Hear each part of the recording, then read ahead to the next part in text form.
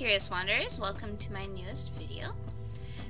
So in this video, I've gone and painted myself a mermaid because why not? I like mermaids. Um, so yeah, I decided to do a little throwback to the techniques I used, or I guess that I learned in my octopus video, and uh, went ahead and applied them here, but I really wanted the bubble effect, so I um, I decided to add a little extra soap to make sure that it would bubble a little better. Of course, I still splat everything everywhere because apparently I'm just bad at blowing bubbles. But um, I really like the result. I think I, I just really like the the little bubbles of watercolor. Even though you have to wait a long time for the for it, for it to dry before you can do another layer. And uh, oh, stray bubble, gotta catch it, gotta pop it. Um, but yeah, so here what I'm doing is I'm just blowing the bubbles and immediately popping them so that they make that perfect little circle. And then I spare you the drying time and uh, I move right on to my next color. Um, now, I don't know if I did this before or after on camera, but I know at one point, like off camera, I added a little, yeah, there we go.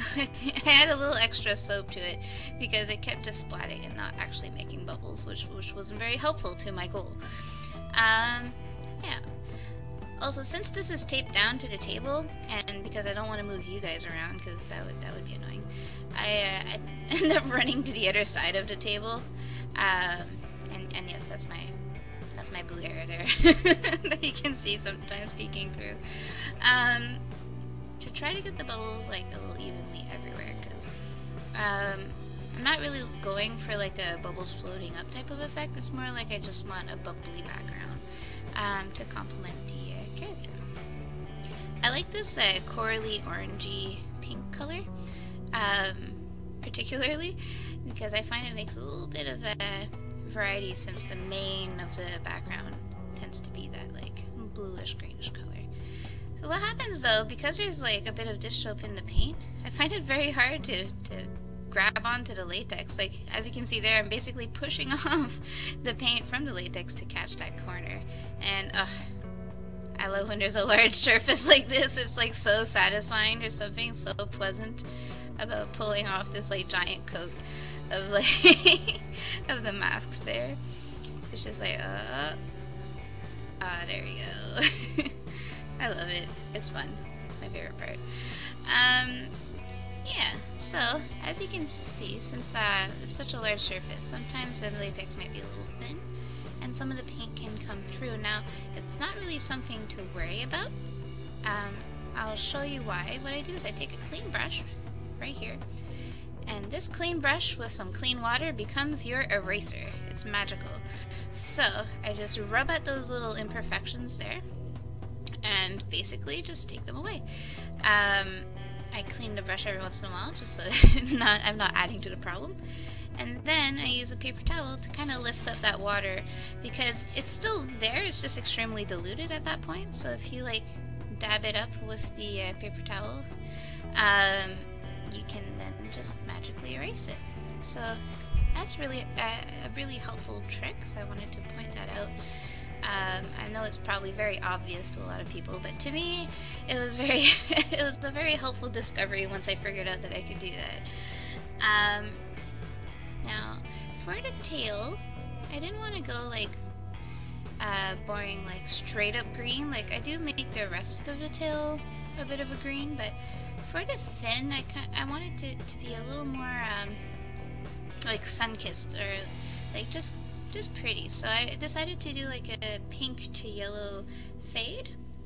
Um, now, this is my favorite scheme, uh, color scheme when it comes to mermaids.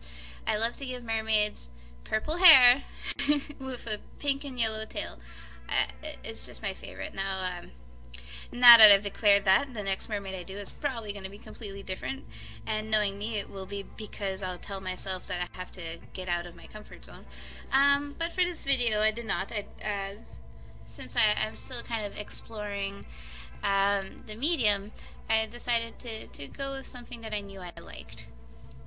So, um, trying to get that paint to blend on the tail is a little hard because the pink that I'm using is from that, I don't know if you guys remember me in another video mentioning this, but um, I got a really inexpensive palette, and I find the colors of the of the medium grade palette that I usually use um, a little less chalky.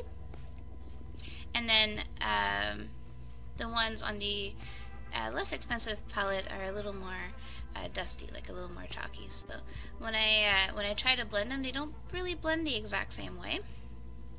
So it just requires a little more um, playing around with it to uh, to get it to obey um, to my demands. But in the end, it works out. So. Um, but I do find that it tends to want to go a little sheer, but that didn't really bother me since I wanted it to be kind of like a, uh, almost like a, a pretty, like a goldfish tail, but not, not to that extreme. Like it's still clearly more of a dolphin tail, but I wanted that feel, like that pretty flowy, like colorful uh, end of the tail. So I didn't mind if I had a bit more of a kind of a sheer aesthetic.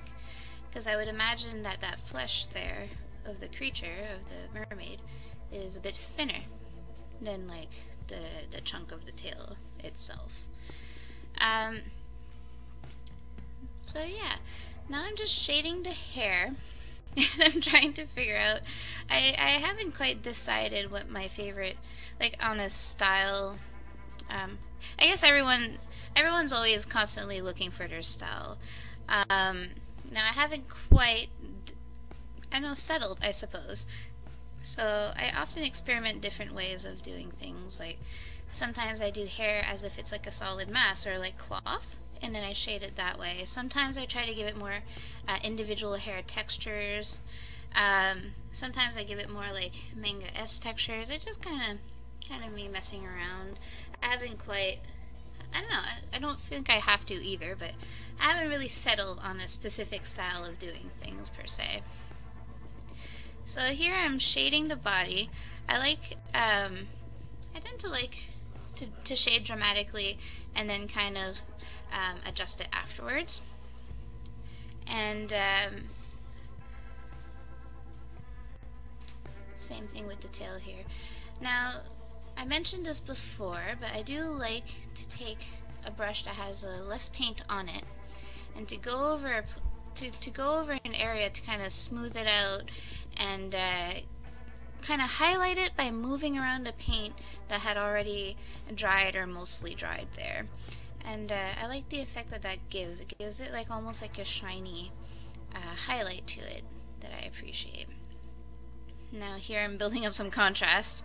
Um, I find that she looks evil at, at, this phase of the drawing, and I don't know if she ever gets less evil, but um, in my eyes, I think she gets less evil later. But right now, she uh, she's just like two little black dots of eyes are pretty are pretty sinister, um, kind of taunting you.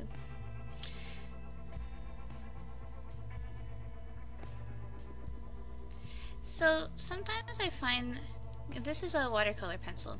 Sometimes I find it's nice to just kind of gently sketch on some uh, some of the blush. I tried to do it with the with the paintbrush, like like you would be you would expect to do, um, but I find it just kind of spiders or it kind of bleeds into the rest of the face. And because the face is so tiny, like you can see it like next to my hand, like it's not a very large face to to um, I just I decided to use my sketchbook there for reference because um, my uh, my line art is is is gone. I couldn't see my line art anymore, so I, I wanted to remember how I had uh, drawn her in my sketchbook. Um, but yeah, I find that it's hard on such a small face to uh, to get that blushing. So I use uh, I use the pencil instead, and I kind of just gently um, add in a bit of detail with the pencil. Now they're, they're still watercolor pencil, so like they still blend in if you like apply water to them. So that is something to be careful of.